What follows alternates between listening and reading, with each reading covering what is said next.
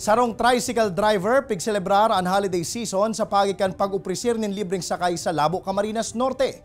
Uyan report. Sa ibong kansakit kan buhay ngunyang panahon, igwa man giraray pira na pigpipiling magtabang sa kapwa. Siring ni Boogie Villegas na imbis magpasada gamit ang sa iyang tricycle para magkaigwang dugang na budget kan sa iyang pamilya. Mas pigpili niya na mag-uprisir nin sarong aldaw na libreng sakay. Sigun sa sa iya, Inipaagi niya tanganing maipamati ang diwa kan Pasko sa sa iyang mga pasahero. Dawa pa pagkakataon niya nakutang makakuha ang lang kaw nakita ngunya na holiday. Sinuporta nila ako, ang aking asawa, ng aking mga anak. Sabi sa akin, sige, maglibre sa kay ka dahil doon din nila nararamdaman ang diwa ng Pasko. Yun lang talagang pinag-ano ko, diwa ng Pasko, pagbibigayan at pagmamahalan. Nagsilbi man na regalo para kay Kuya Bugi ang mga naging reaksyon kan sa iyang mga pasahero na labing na-apresyar ang sa iyang dikit na pamaskong serbisyo.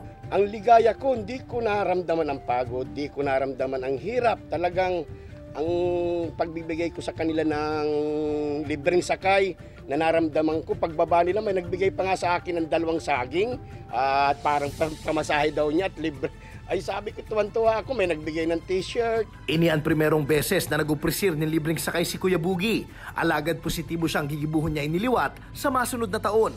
Kaibaan na na ang iba pa mga tricycle drivers sa saindang lugar. Ini si Jesse Cruzat, Balitang Bicolandia.